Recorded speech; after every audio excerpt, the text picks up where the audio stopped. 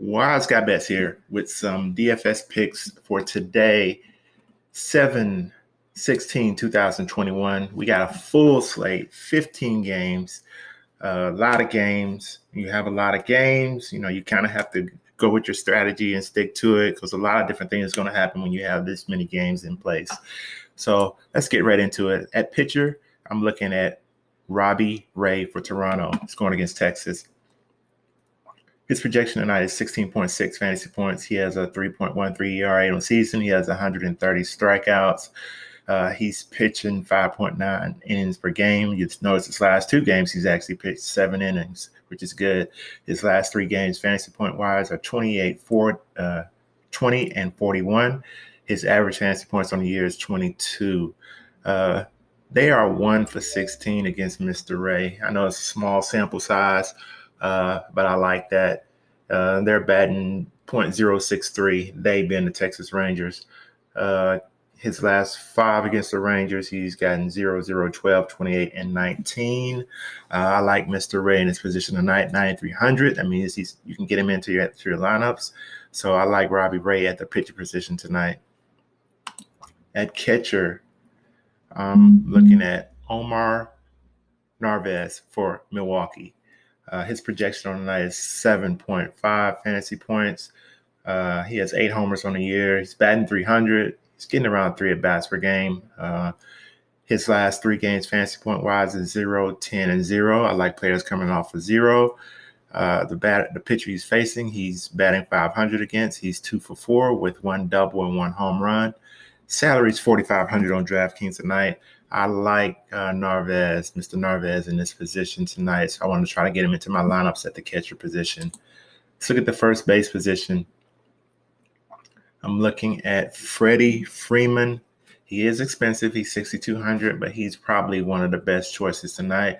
Possible core pick. Uh, his projection for tonight is 9.5 fantasy points. He has 19 homers on the year. He's batting 274. He's getting about 3.7 at bats per game. His last three games, fantasy point wise, are 18, 21, and 9. He's four for 10 against the pitcher he's facing tonight. Three singles, one double. His last five against Tampa Bay, 4, 9, 0, 29, and 0. I like Mr. Freeman in his position tonight. They're depending on a lot more since Mr. Ronald Acuna Jr. is out, and I think he will produce. So Mr. Freeman, even though he's 6,200, is someone I definitely want to look at getting into my lineups tonight at the first base position. Let's look at the second base position. At second base, I'm looking at New York Yankees DJ LeMahieu. Uh, the Yankees apparently have some COVID issues. Uh, I think a few of their players tested positive. I think six players tested positive, including Aaron Judge. So it's probably something to keep your eye on. But as of right now, the game is still on and DJ still playing. His projection for tonight is 9.3 fantasy points. Uh, seven home runs on the season. He's batting 270. He's getting around four at bats per game. His last three games, fantasy point wise, is 17, 3, and 10. Uh, he's 5 for 16 against his pitcher. He's batting 312, four singles, one double. Uh, his last five against Boston, 3, 2, 7, 25, and 8. So uh, definitely he's someone I want to look at getting in my lineup tonight at second base. Let's look at the uh, third base position.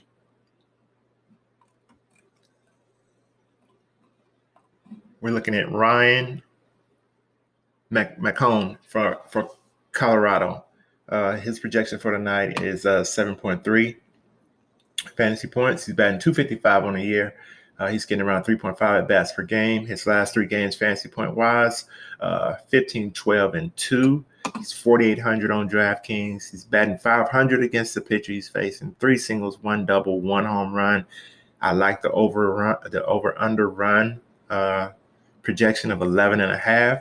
That means five to six at bats if things go the way he's supposed to. And with him making great contact against this pitcher, I'm real confident to get uh, Ryan in our lineups tonight. Uh, hopefully, he can get on base a few times and get a few hits. So, uh, Ryan is someone I definitely want to look and get into my lineups tonight at the uh, third base position. Let's look at shortstop. At the shortstop position, I'm looking at Alexander Bogaerts for Boston. Uh, his projection on that is 8.4 fantasy points. He has 15 homers on the year. He's batting 321. He's getting around 3.8 at bats per game. His last three games, fantasy point wise, 5, 16, and 16. He's 6 for 14 against this pitcher, batting 429, three singles, two doubles, one home run. Uh, his last five against the Yankees are 7, 14, 11, 17, and 12. Again, have to kind of watch this game, but it looks like it's still going on, on going on as of right now, even though they had some uh, COVID issues. So Xander Bogaerts is someone I definitely want to look into getting into my lineup tonight at the shortstop position. Let's look at the outfield.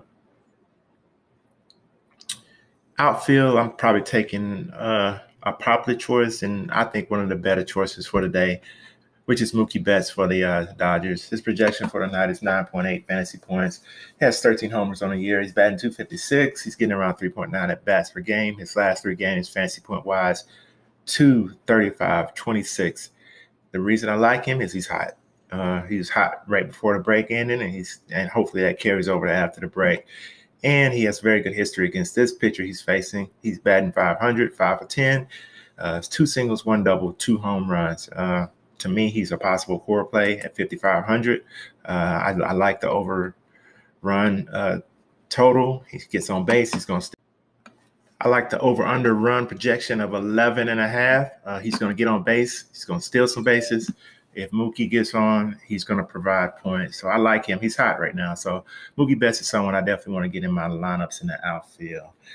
Those are my picks for the day. Hey, if my picks help you, go ahead and hit that like button and be sure to subscribe to my channel. And to the next video, peace.